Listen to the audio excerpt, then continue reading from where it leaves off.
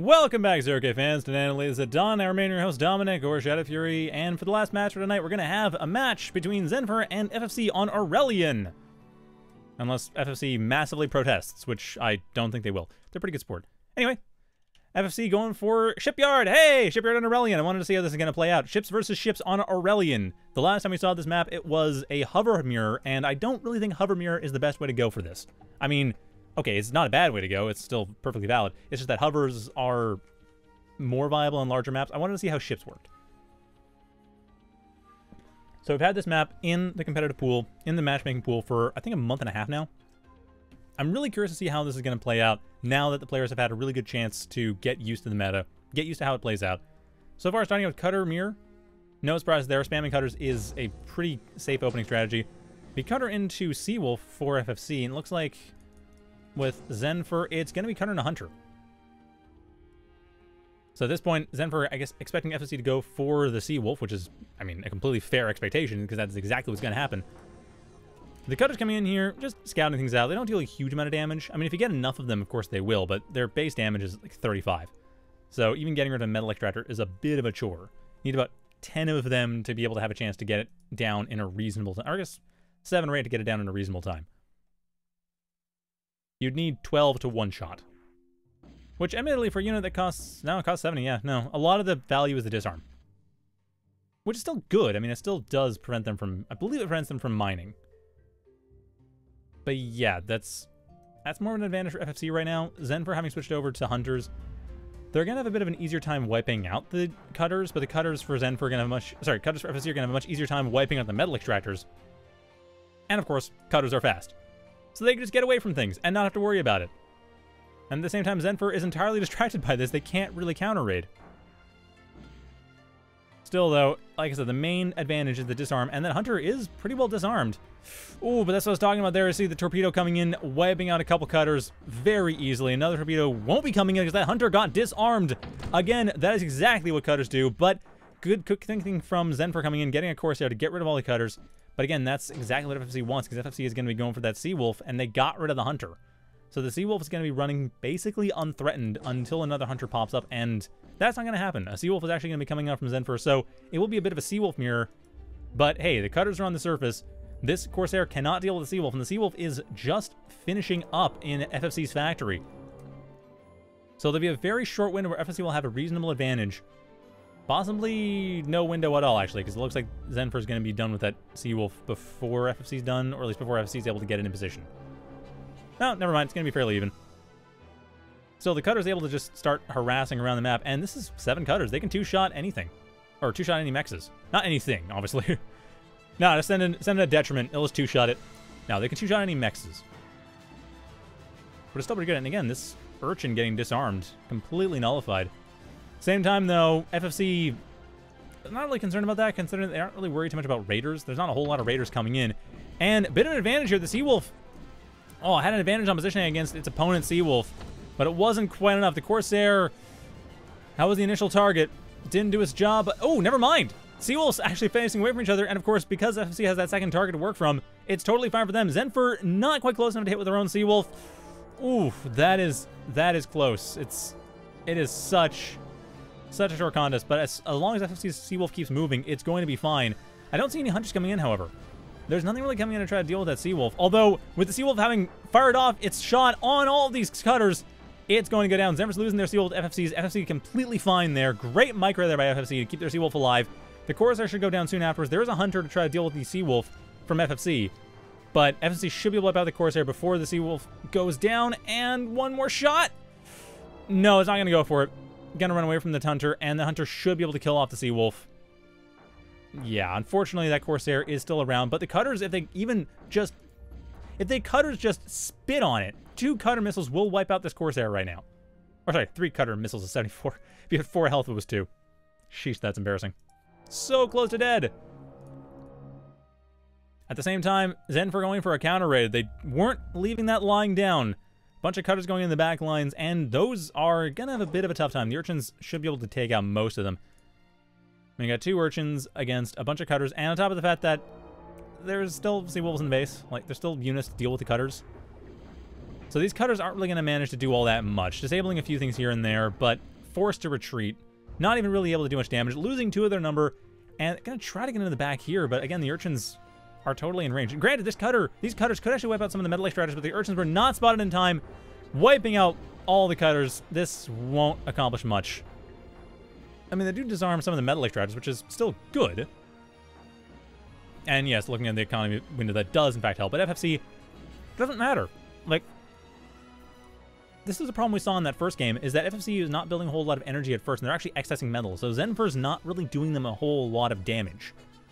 FFC's FFC has already done the damage to themselves, since they haven't built the energy needed to actually use all the metal they have.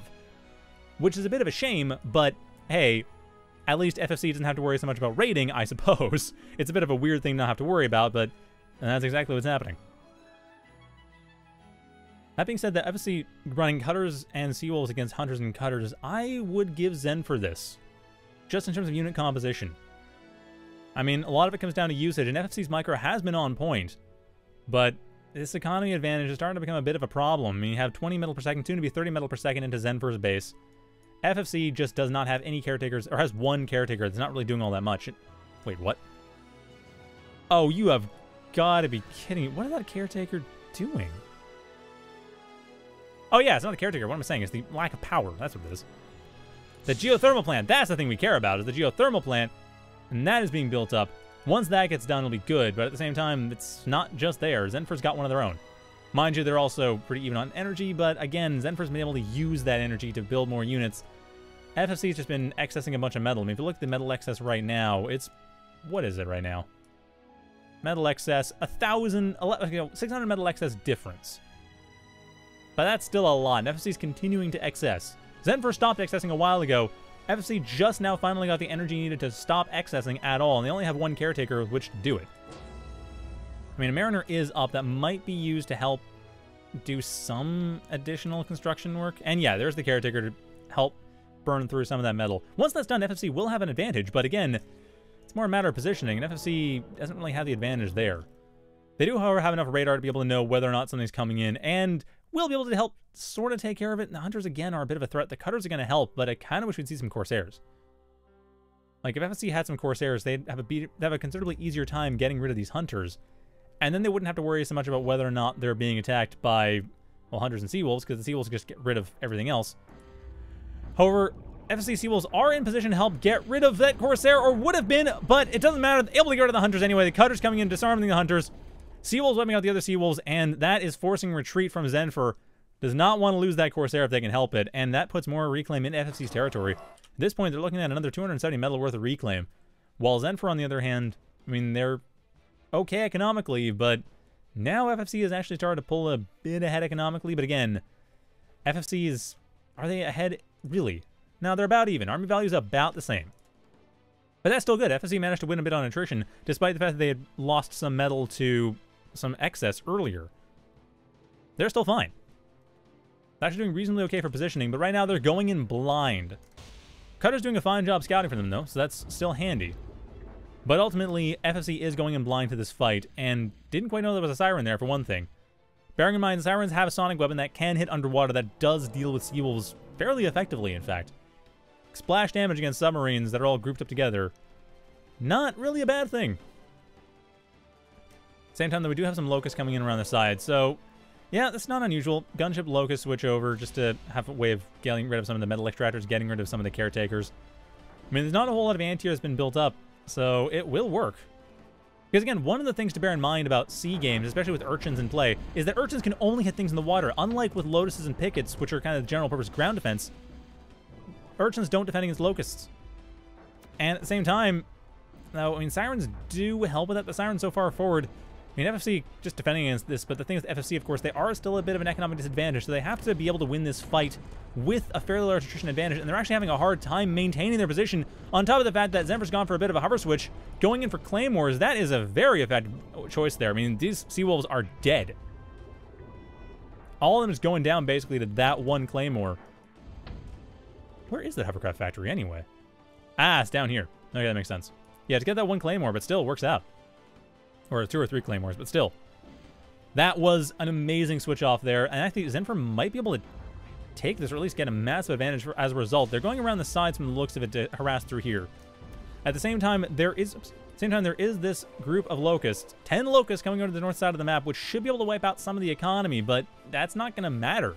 Zenfur's inside of FFC's base. There's there's no way to stop this without coming in with the locusts, revealing them, and using them to wipe out the claymores, because right now, the claymores are destroying everything. Like, claymores are an amazing unit to have. They're kind of weak. They're, I mean, they're kind of frail, but once they get in and start dealing damage, if they don't friendly fire, which I think they've gotten smarter to avoid doing, then it's going to be a slaughter of your opponent's units. And heck, even if they do friendly fire, it's still going to be a slaughter. It's just going to be a little more even-handed than just your opponent's units. So yeah, at this point, FFC, they are having a hell of a time trying to deal with this stuff. I mean, the Locusts are coming around the back, and I guess that might be used to try to encourage Zenfur to retreat, maybe. But I think Zenfur's just going to go for a Shredder and not worry about it. Although, sorry, Zephyr, not Shredder, what I'm saying. Although that Zephyr is actually having a bit of a hard time staying up. Zephyr is up, but it goes down just as quickly. The next Zephyr is trying to be built up. The caretakers are too worried about healing themselves and getting this Razor up to actually deal with anything else. The shipyard should go down quickly enough to stop the Zephyr, Zephyr from existing. Shipyard is down. The Razor is up. There are enough Locusts to actually contest that Razor. That Razor is going to go down. And at the same time, over to the south, there is still an advantage for Zenfur. They can still start getting into the base, but FFC's use this as a distraction to start building up a bunch of cutters, which I'm guessing they're going to plan to use to wipe out that that Siren, because, you know, disarm the Siren, go from there. And no, they're going for the Claymores instead. Getting rid of as much of the Claymores as they can, forcing a bit of friendly fire on top of that. While at the same time, the Locust able to get rid of all the Razors, able to get rid of the Caretaker, so no Razor can really be built up that easily. There is, however, a Flail being built up because, again, a Hovercraft Factory does exist, and Flails are very strong anti-air. But this has still been a very effective harassment coming in from FFC. And there's still a bunch of stuff over to the north. There are Razors being built up over to the north, but Zenfur had not built them in advance, so it's going to take a little while. And if those Locusts are quick about it, and it looks like they will be, they should be able to get in and start getting, because they're going to be running away from the flails. They're going to be going north. They're going to get that Mariner. That Razor is not being built. And so Zenfur is kind of stuck in front of FFC's base, more worried about protecting their own base than fighting FFC's, giving FFC plenty of time to build up, getting some Harpies, getting some Sea Wolves. And they can stun out this... Okay, they're not going to stun out the Siren with only one cutter, but still, dealing enough damage that it's definitely been worth it. I mean, we still have five Locusts left, half the Locusts that were used from the beginning. Still managing to deal boatloads of damage. Like, Okay, so seven Locusts died at the cost of the Sea Factory, a bunch of Mariners, a couple of Razors, all the Caretakers, several Wind Generators, five Metal Extractors, and a Geothermal Plant. Those Locusts made cost. Well done, FFC. This could actually be a bit of a turnaround point. I'm not entirely convinced, though, because that Siren is still very scary. But it's not bad. It's not a bad position to be in. I mean, the Siren is scary, but it's also taking a fair bit of damage as well. Now, these razors, these razors are being a problem and stopping the from doing too much. I mean, FFC, they're kind of back on track. If they just get one more caretaker or get the commander to start helping out the factory, that should be enough to use all their metal. And from there, they would at least have enough in terms of overall cost to be able to push through. Although, yeah, the Claymore being a bit of a problem. I mean, what counters Claymore? Corsair's probably not a bad option. Cutter's in large enough numbers, I guess, but the problem is that it's kind of countered by Claymore, so not a great option. But yeah, I would go for either air or if you got enough air because the razors are in play, I would think I would think Corsairs would work okay. Or Mistrals. Mistrals might work too. I'm not sure if they're long enough range. That's 610 range compared or 610 ML range compared to hmm. Yeah, actually, you know, Mistrals would probably be a really good idea against Corsairs, come to think of it. I mean, they're kind of a riot unit, and Mistrals are kind of a skirmisher, so it makes sense. But yeah, in terms of range, they they would be outranged. The Corsairs would be, sorry, the Claymores would be completely outranged by the Mistrals. I mean, it's a bit of a hard thing to maintain when you have a bunch of other units coming in to try to deal with. But yeah, shipyards have skirmishers. I don't know. This is something I don't know, unless Mistrals are apparently just seen as too terrible to even bother with. But no, Mistrals would probably wipe out Claymores. Oh, that was a that was a shame. I mean, FFC is watching this. I don't know, maybe they can pipe up in the chat about what their opinion was on Mistrals or if they even thought about it, because, I mean, that would be a thing I would try. Just has range. I'd probably try Corsairs at first just for the extra damage to wipe them out, but yeah, otherwise I'd say Mistral just to outrange them. Try to work from there and then make it work. I mean, FFC was doing fairly well considering they had a lower economy the entire time. I mean, look at the metal income. Was, I mean, there's a giant spike in the middle of Zenfur. An army value was never really quite there, but really was only at the very end. For the most part, Zenfur was actually not quite as efficient when it came to units. Or they're about even.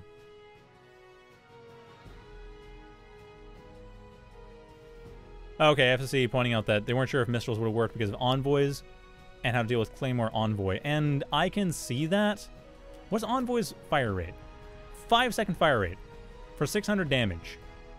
And Mistral, which, oh, I can't see what it is right now because there are no living sea factories. Okay, well, forget it. But yeah, Mistral, I think, I think we have enough health to survive. And Envoy is a slow-moving projectile. So if a slow-moving, long-range artillery projectile, I think the Envoys, you just throw, like, I guess a Seawolf Mistral team would probably do it. Like, the Seawolves to get rid of the Envoys or at least slow them down. The Claymores would be baited by the Seawolves, and then the Mistrals can just wipe out the Claymores as the Claymores try to defend the Envoys. And the Envoys are going to be firing on the Mistrals, but you can just kite the Mistrals around to, or not, you can just dance the Mistrals around to avoid getting hit by Envoy shells. Like just, I don't know, make them go into an S pattern or something so the Envoy shells never hit. Or a figure eight pattern or something like that. The Envoy shells just keep missing because they're firing where the Mistrals were and the Mistrals just keep dancing around. But I mean, yeah, the envoys do definitely outrange Mistrals. There's no doubt about that. By half. But, yeah, I mean, I think that, I think it would have worked. Okay, FFC pointing out in the chat, they only really know C up to the Corsairs. I guess that means the Hunter, the Cutter, and the Corsair. So that makes sense. But, yeah, there are Mistrals. Mistrals are a thing. Sirens are a thing, though I wouldn't have recommended that in this case because they're fairly expensive for what they could do. I mean, they would have been more vulnerable to the Envoys. They might have worked, though, actually. But yeah, I don't know. Sirens, eh. I think Mistrals would have been a better option. I would have loved to see what happens with Mistrals. Maybe I'm wrong. Maybe it's entirely a question of cost or a question of how much money, or the fact that FFC was being just pounded on by everything on all sides. But yeah, I think if instead of cutters, there'd been a lot of Mistrals, or a handful of cutters with a bunch of Mistrals, or not a handful at least, Mistral Seawolf instead of Cutter Seawolf, I could see that actually working. Like, when the Locust attack happened, as as part of the backline thing when you're rebuilding your army because the damage was being done, like, sorry, the damage was being done to Zenfur's base, and Zenfur was less, was more distracted, wasn't attacking the front lines, I could see from there, right then, it switch to, switch to Mistral Seawolf, then use that to wipe out the Claymore Envoy, reclaim this part of your base, and then keep going. Because the Locust provided a lot of momentum. It was just hard to capitalize on that because Zenfur already had set up, but I think Mistral Seawolf might have worked then. Anyway, that is going to be it for me tonight. So thanks for watching. Hope you enjoyed that. And yeah, until next time, have a good night. Oh, and if you're wondering about my hands, they're better. They're still not perfect. I'm okay. It's not my hands. It's that I hurt myself working out a few days ago. Like I had an issue with my neck because for those of you wondering, who might be younger, who don't have have never had any issues with hands yet, the biggest thing is make sure your back and shoulders and neck are in reasonably good shape and you have you stretch them and you work them out whatever and I do. Now, the problem I had was that I just had some really bad pillows and it pinched some nerves in my shoulders and I didn't realize what was going on so I was running my arms like a tenth of the normal strength and I ended up straining them as a result and that's pretty much healed up. The problem was I was working out about last week and as I was working out I basically had some really bad form doing lat pull downs and hurt my neck. So it's not so much that my hands hurt, as rather my neck hurts and it's pinching nerves and hurting other nerves that go to all the way down to my hands, but it's entirely up my neck and shoulders. And I have an appointment with a physiotherapist like today, in an hour or two. So yeah, I've got that sorted, but I don't want to push it quite yet. I still realize that my hands are kind of in recovery mode from having strained the muscles a couple weeks ago, and so I don't want to push it quite yet, but they are definitely improving. So thank you for asking. And yeah, like I said, I repeat, it's important to exercise your back and your shoulders and your neck if you can. Stretch it, work it out if you can. It's important to work out all your upper body, but neck, shoulders, and back get neglected a lot when people are talking about hand issues because those are support muscles. You need those to be able to use the rest of your hands. Anyway, But again, thank you for watching. Thank you for your concern. And until next time, good night.